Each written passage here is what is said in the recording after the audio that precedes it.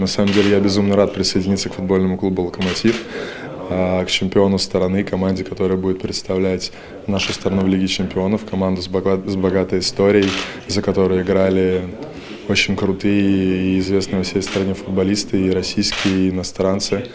А, для меня большая честь поработать с Юрием Павловичем Саминым, с а, великим тренером нашим. И да, я, я, я очень рад, правда. А, Федор, была такая история, что ты впервые оказался в Черкизово еще в юношеском возрасте. Расскажи поподробнее. Да, это правда. Я в 14 лет приезжал на просмотр сюда, в футбольную школу «Локомотива».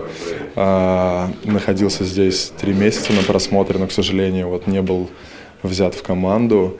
А, я помню, что я безумно переживал, а, потому что мне выдали уже на тот момент форму с 17 номером, я как сейчас помню. И когда стало известно о том, что ну, меня не оставляют в команде, я помню, что я плакал очень долго, и как бы я думал, что все, моя футбольная карьера там разбита и закончена.